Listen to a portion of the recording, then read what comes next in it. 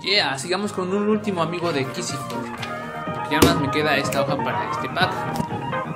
Vamos a hacer al puerquito. Otro un puerquito, no como este, sino el más chico. Ya que es temeroso, miedoso y todo lo que tú quieras. Este, amigos que tienes así.